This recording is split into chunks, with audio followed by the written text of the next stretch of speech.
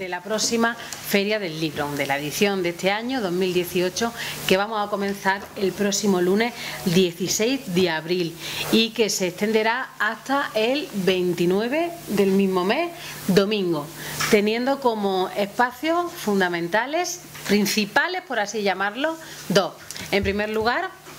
la biblioteca municipal, como no puede ser de otra manera, que además de ser, el, por así decirlo, la casa de los libros, el espacio en el que todo, durante todo el año se, se fomenta y se inculca el amor por la lectura,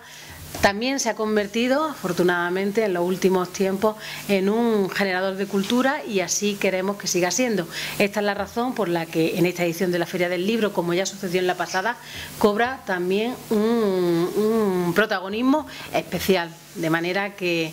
algunas de las actividades más esperadas de esta, de esta programación se celebrarán en esa biblioteca, como por ejemplo la primera que comienza el lunes 16, que es la lectura del Quijote, una actividad que ya comenzamos el año pasado, que fue todo un éxito y que en esta ocasión vamos a repetir esa lectura ininterrumpida del Quijote. No he dicho que me acompaña en la mesa Luis Rabanera, que es el responsable del archivo y de la biblioteca y que también está aquí pues, para dar detalles técnicos de toda esta programación. Perdóname, Luis, que no, que no te he mencionado, que no te he mencionado al, al principio. Como digo, ese es el lugar donde se, se de nuevo haremos esa lectura ininterrumpida del, del, Quijote, que creo, y si mal no recuerdo, y si no Luis me corrige, que somos, junto con el Círculo de Bellas Artes de Madrid, el único lugar de España que celebra una actividad de estas características. Del mundo. Del mundo. y además de presentaciones de presentaciones de libros que ahora Luis también dará detalles de todas ellas. Como digo, eso serán las actividades centrales en la biblioteca. En esta ocasión los están se van a colocar, cambiamos de ubicación, nos vamos a la plaza del ayuntamiento, hemos creído, hemos convenido por diversas razones que era un, lugar más de paso incluso que, la anterior ubicación. Y como digo lo están y esa carpa de actividades donde también tendremos eh, bueno, dinamizaremos de forma especial en esta en esta edición de la feria. Se ubicarán en la plaza del ayuntamiento que es el otro lugar como decía destacado e importante de esta feria. Además del Pósito el auditorio municipal del Pósito albergará un año más el maratón de cuentos del mundo que organizamos con Mundo Acoge el Valle de las Estrellas se llama en esta edición la puesta en escena que, presentamos para los más pequeños a lo largo de los días 17 y 18 de, de abril hasta mil escolares pasarán por ese auditorio municipal del Pósito. También una lectura, bueno, a grandes rasgos diré algunas de las cosas y ahora será Luis el que, el que incida más en ellos. También en esta ocasión los más pequeños leerán el Quijote en una, en una lectura adaptada el próximo 23 de abril. Y muchísimas actividades enfocadas a ellos, a los más pequeños, en esa carpa de la plaza del ayuntamiento, porque creemos que bueno que de una forma eh, ellos son la cantera, son los futuros lectores, esperemos que muchos de ellos lectores y escritores y, hemos intentado dinamizar y hacer actividades más atractivas y más enfocadas a ellos porque ellos, de ellos depende el futuro y de ellos inculcarle el amor por la lectura y por los libros desde edades tempranas es fundamental para un buen desarrollo y para que sean desde luego cuando sean adultos sean más libres y más felices. Y ahora será Luis el que nos dé los detalles técnicos de, bueno, pues de estas todas muchas actividades que hemos preparado desde la biblioteca, que estamos muy contentos y muy satisfechos con esta edición y creo que, durante dos semanas, aunque no serán las dos semanas, si la Feria del Libro comienza del 16 al, al 29 de abril, los están estarán algo menos y la carpa de actividades, ahora dará detalles de ello Luis, pero como digo, dos semanas dedicadas a las letras, a los libros y a la cultura y dinamizadas de una forma muy especial para hacerlas más atractivos. Sacamos los libros a la calle y acercamos la cultura a la gente, yo creo que en un entorno especialmente atractivo y con actividades que no dejarán indiferente a nadie a grandes rasgos la hemos, la hemos, hemos mencionado todas, pero sí hacer también un especial hincapié en algunas, porque como, como él ha dicho y como yo quiero y yo quiero ratificar una edición muy pensada para los más pequeños y bueno, especial mención merece el, el día 22 de abril, los cuentos del Club Quirico, que durante tantos años Javi Soler y la librería Entre Libros llevan haciendo en sus, en, su, en sus instalaciones y que yo me quedo con eso que decía Luis al principio, creo que la noticia estupenda y maravillosa de estas ferias es que los libreros, los libreros locales vuelven, que vuelve la librería Entre Libros que hace pues una labor encomiable a lo largo, a lo largo de todo el año dentro de sus instalaciones y que este año afortunadamente para todos nosotros ha querido volver con un stand a la feria, además de con un stand con esta actividad tan, tan importante y tan bonita, el día 22 como decía, también es el día 22 y por la tarde unos ya clásicos de la feria que son el de Cultural English Center con su con su puesta en escena con Dracul, que es una, una adaptación del Drácula de, de, Bram Stoker. Y luego también, bueno, encuentros con autor, que habrá, habrá en un par de, de ocasiones además ese guiño también a los autores locales junto con, con Linares Escribe y luego el 27 de abril el premio del 2018 de Entre Libros, premio de relatos también, algo muy, muy, una actividad muy consagrada y muy esperada que también este año vuelve a la carpa de actividades de la feria y creo que, que no nos dejamos eh, bueno, no sé, sí, por, algo nos por ser justo por ser justo que nadie se quede. Digo de,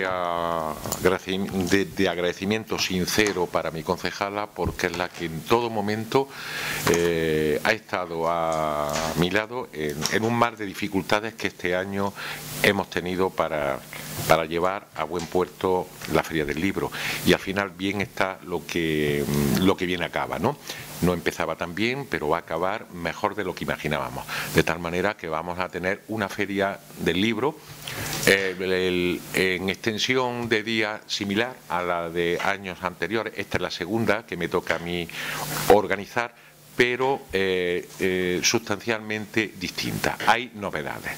Eh, mm, sencillamente se, mantiene lo que ha venido funcionando, pero se mejora todo lo mejorable. ¿no? Esa es la apuesta que tenemos, esa es la apuesta que, el que, yo, el, que yo he iniciado y desde luego sin el apoyo y sin la autorización de mi concejala no hubiese sido, no hubiese sido posible. Primeramente, tenemos que felicitarnos porque los libreros locales vuelvan a la feria. Eso ya es algo eh, positivo. Eh, los tiempos que corrían, mm, el, libro no, no, era un elemento mm, de negocio suficiente. Tenemos que entender que los libreros mm, viven de la venta de la venta de libros y habíamos perdido ese componente local eh, tan importante. Vuelven a la feria y nosotros los acompañamos pues con un programa de actividades muy dinámico para hacer la feria para hacer de la feria una auténtica feria, eh, llevando teatro, llevando música, llevando actividades infantiles eh, a tope, porque como decía Macarena, esta feria está mm, muy cargada de actividades para fundamentalmente para el público infantil y, juvenil, que es nuestro potencial, nuestro potencial lector. Ya digo, una feria que desde el día 21 en la calle hasta el día 29 va a tener actividades de mañana y tarde todos los días, todos los días, eh, con la novedad o con el añadido eh, de que vamos a intentar y yo creo que lo conseguiremos al final, que cerca de 1.500 escolares lean El Quijote en Linares, la primera vez. También lo fue la primera el año pasado en la versión de, eh, adultos y pasaron cerca de 400 personas, ¿no? Y como decía, y como decía Macarena, y yo he repetido en alguna ocasión, porque así me lo transmitieron, ¿eh? así cuando terminó la actividad y logramos leer El Quijote sin trampa, sin trampa, porque el Quijote se lee en muchos sitios, fragmentos del Quijote, pues conmemorativo el Día Internacional del Libro, lo que sea decir, pero leerlo completo, nos decía Fanny, Fanny, que es la que lleva 21 años leyendo el Quijote en el Círculo de Bellas Artes, que solamente se había hecho en tres lugares del mundo. En Madrid, en el Círculo de Bellas Artes,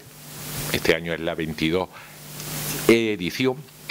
en Roma, cuando ella fue directora del Instituto Cervantes, y en Linares, en su pueblo, ¿eh? en su pueblo tan querido.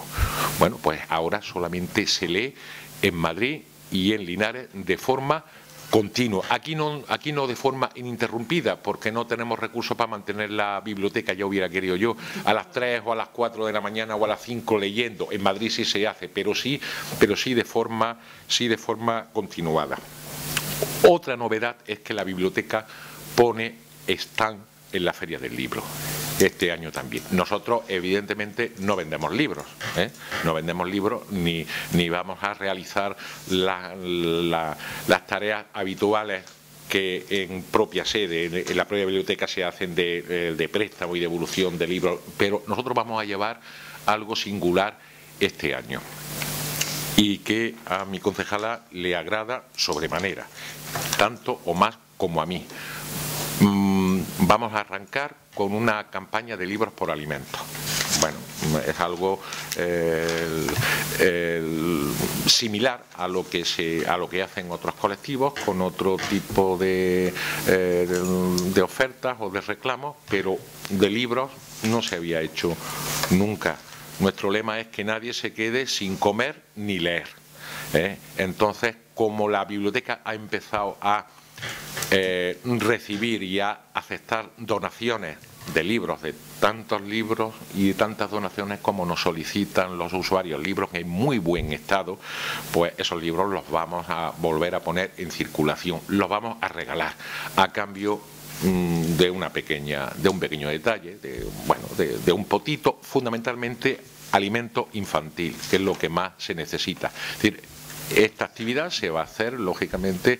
en la biblioteca en colaboración con Carita Interparroquial y, mm, y con el comedor social. También este año eh, vamos a decorar vamos a decorar la biblioteca porque como estamos de fiesta eh, estamos de feria pues este año vamos a contar con una magna exposición de elementos quijotescos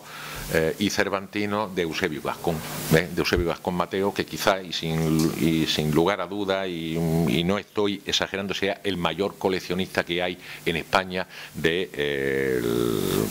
de motivos quijotescos y cervantinos el,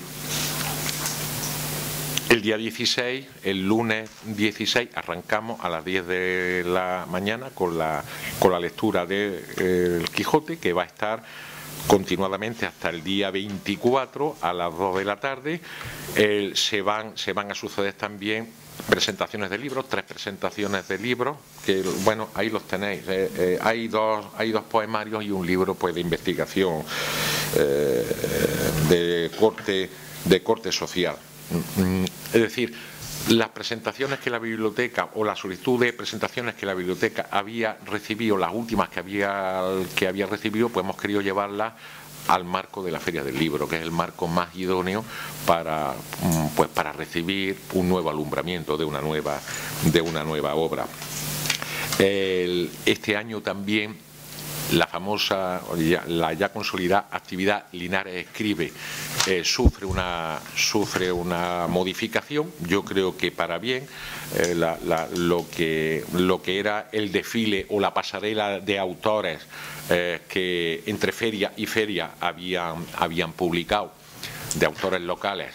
lo seguimos manteniendo, pero dándole un formato nuevo, distinto. Separamos por género, entonces eh, eh, nos llevamos lo que es creación literaria a un día, el día 28 por la mañana, y lo que es y, lo que es de investigación, de ciencias sociales, al día 29.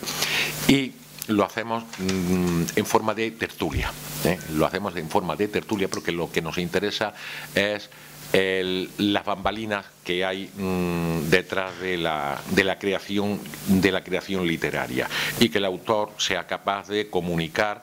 a su público, a, su, a sus potenciales lectores, todas las dificultades que hay a la hora de escribir, a la hora de editar y los conflictos que le pueden surgir en la composición de la obra. Eh,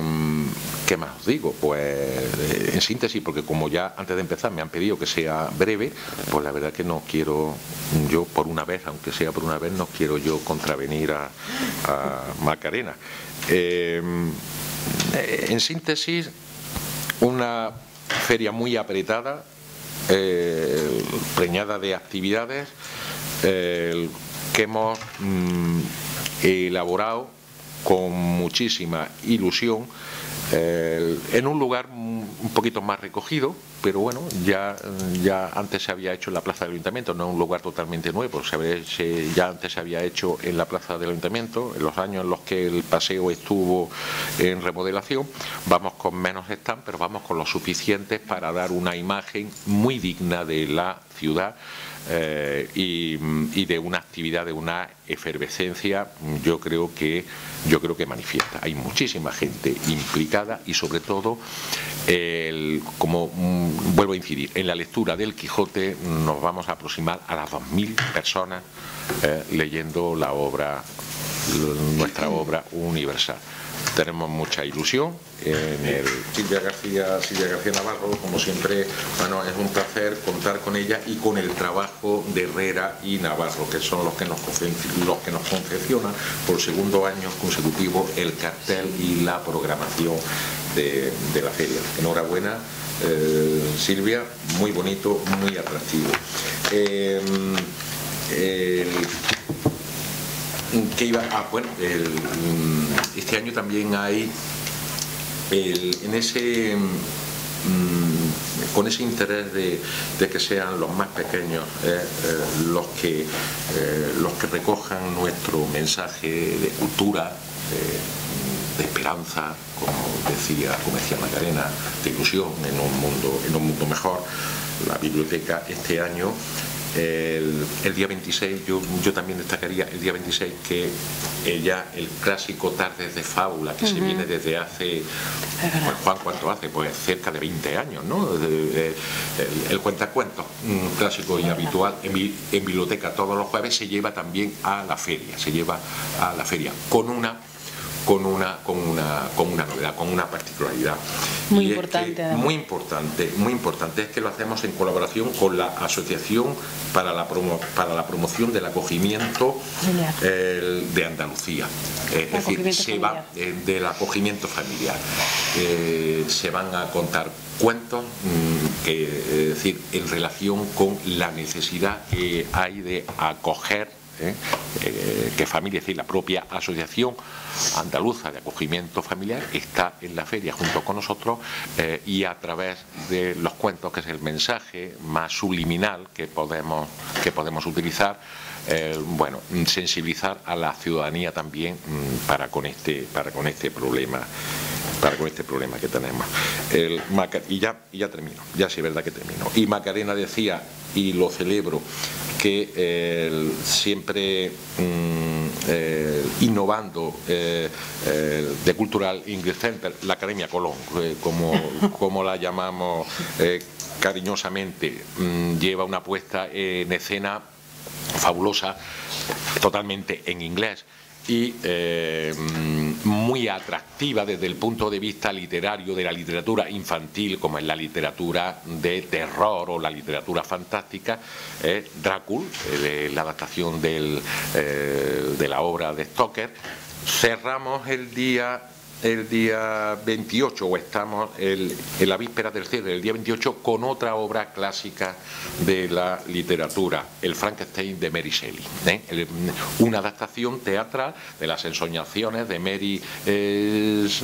eh, de Mary Shelley para la creación de esa mm, figura icónica ya de la literatura, de la literatura no solo de adultos, sino de, la literatura juvenil, ¿no? Frankie y Mary, o la madre que lo parió, por, eh, a, cargo del grupo, del grupo La Cuerda, que como sabéis el año pasado, eh, la verdad que nos deleitó en la, en, la clausura de la Feria del Libro con una adaptación de su obra Quijostia, muy, muy, eh, muy bonita. Y bueno, yo creo que ya no se me olvida nada. El, el, famoso recital poético de Manantial de Sueños, ¿eh? Em, que se hace participativo a toda la ciudadanía, leyendo ininterrumpidamente poesía tan necesaria en estos tiempos y que este año lleva por título Lorca Viva Voz, en el 120 aniversario del nacimiento del granaíno.